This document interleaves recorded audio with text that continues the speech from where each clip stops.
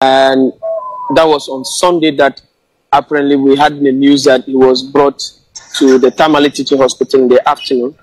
And just this uh, evening, that that was around 2:45 p.m. that uh, the regional secretary of the party actually informed uh, pressmen that the late uh, chairman had passed on.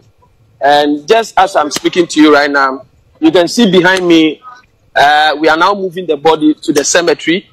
Uh, that is the team that is moving with the entire body to the Zunju cemetery for the final burial of the late chairman of the NDC. So as it stands now, we are just finished the prayers for him and then we are moving towards the cemetery right away.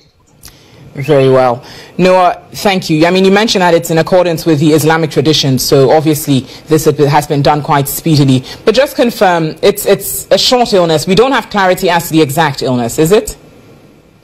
Um, he, the late chairman of the NDC was also having little complications like BP and some diabetic conditions, but that was not the main reason why I think he was admitted at the ICU according to my sources at the Tamale Teaching Hospital.